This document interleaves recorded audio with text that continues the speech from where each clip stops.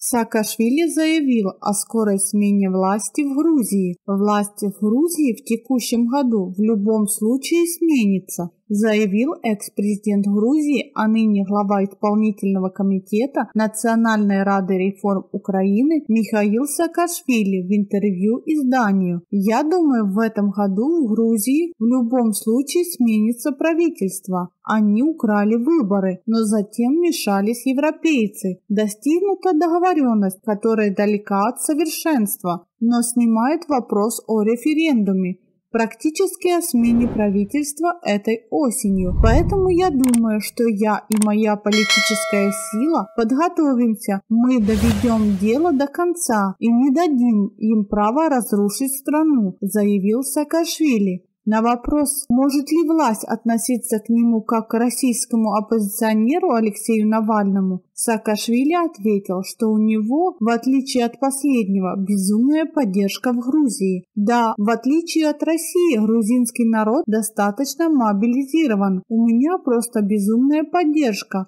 Я вообще-то считаю Навального героем.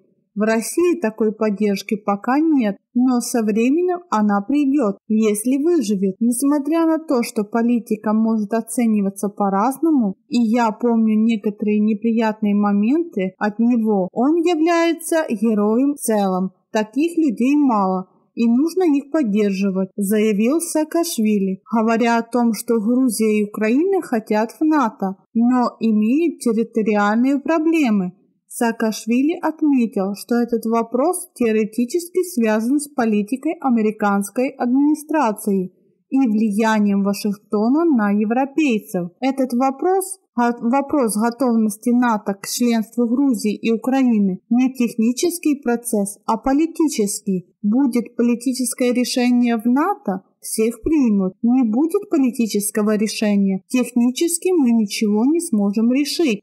Технически нам будут постоянно придумывать новые барьеры. Я уже через это проходил, сказал Саакашвили. Какое ваше мнение? Пишите в комментариях. Спасибо всем за просмотр.